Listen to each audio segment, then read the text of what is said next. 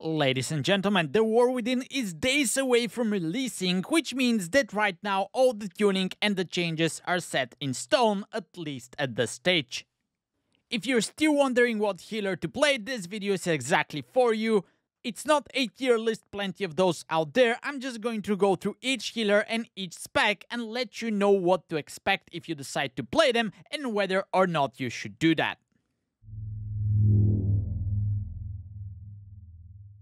Discipline Priest picks between Voidweaver and Oracle hero talents. The first one is pretty cool looking and it's a lot of fun to play, while the Oracle provides a little bit more complex gameplay style.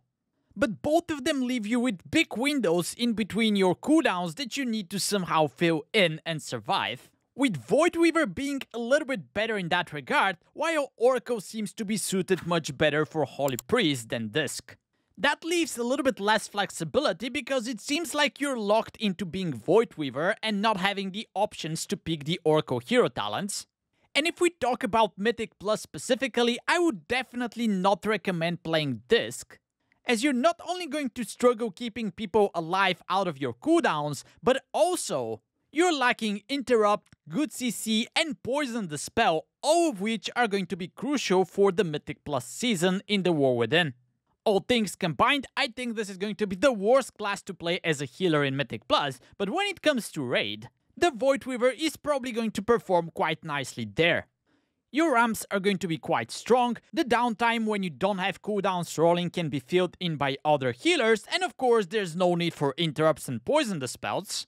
So if your thing is playing Discipline Priest in Raid, you're going to have some good time during Season 1 of The War Within.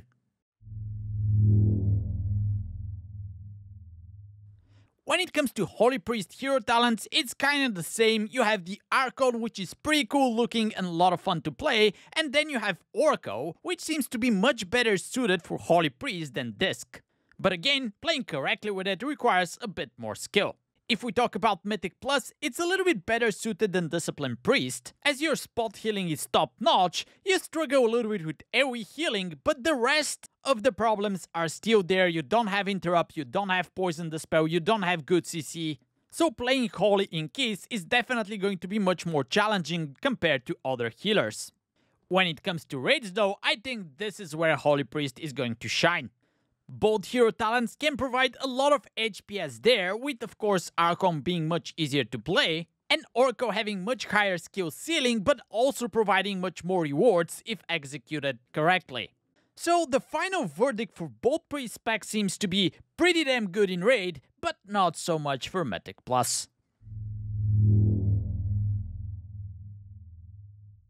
Resto Druid seems to be one of the big losers for the War Within after being the top healer at the end of Dragonflight, but then seeing some nerfs ever since. It did get some nice improvements as the fluid form and some talent changes, but it seems not all of them were in the right direction and they came along with a lot of nerfs, so that left the spec in a kinda weird situation. When it comes to hero talents, they provide completely different playstyles, with Wildstalker focusing on you staying in cat form and doing damage, while Keeper of the Grove focuses on your treants and provides some extra buffs if you stay in caster form. And while this variety is nice, Wildstalker seems to be suited only for people who enjoy cat weaving a lot, specifically in Mythic Plus as it seems quite irrelevant in Raid. While Keeper of the Grove playstyle seems to suit both environments much better, but it comes with the complexity of being a Rest Druid in Mythic Plus and just spamming rejuvenations in Raid. So the verdict here is that Rest Druid is going to be decent in both environments, however I would only recommend it if you enjoy the respective gameplay style with either Wildstalker or Keeper of the Grove. Mistweaver Monk also saw a lot of changes compared to Dragonflight, but all of them seem to be on the positive side. The biggest thing about this pack is that it only has basically one option when it comes to hero talents. The big loser is Master of the Harmony, which feels nice, it has interesting gameplay style, nice idea, but it's just not there when it comes to numbers and performance. But yet that doesn't seem to be that bad because the other option, Conduit of the Celestials, seems to be more than enough.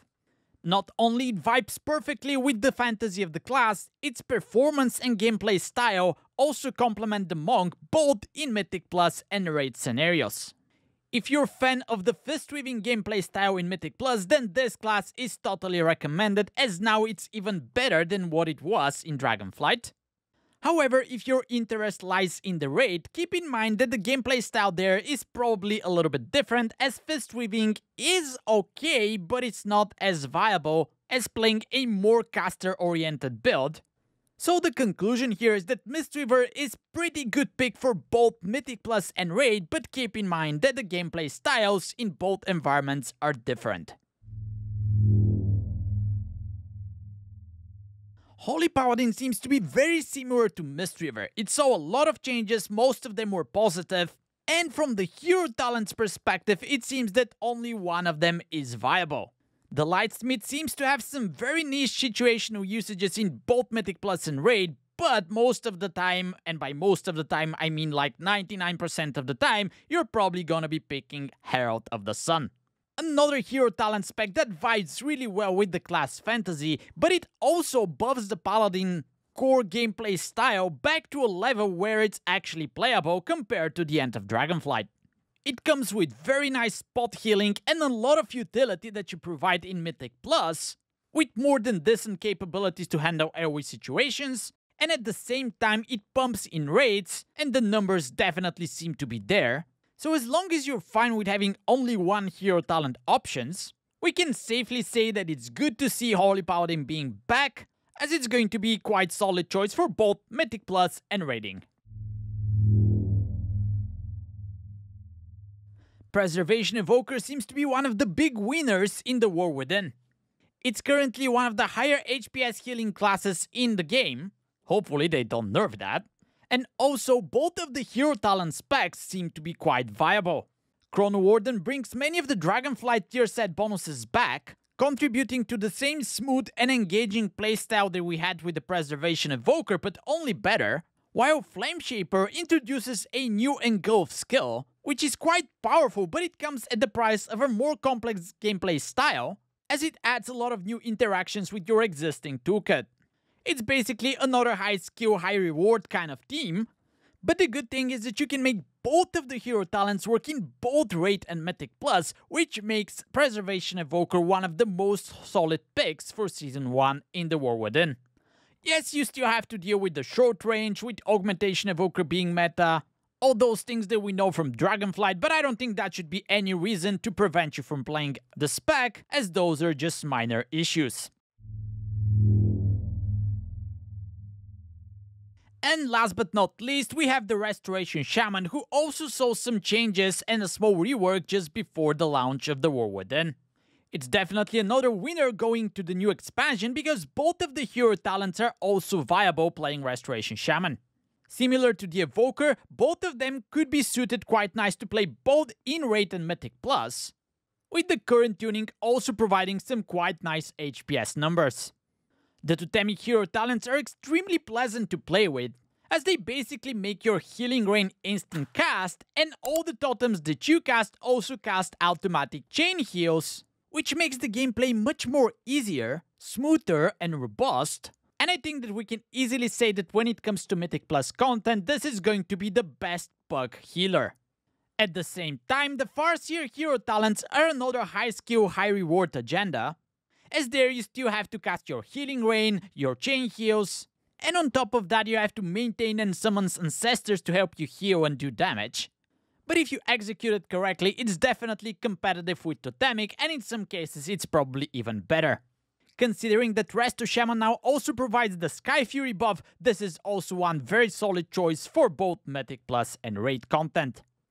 So that will be all the healing specs. Hopefully this makes your decision a little bit easier for the war within. Let me know what it is in the comments below. I'll see you guys in the next video. Now get out of here.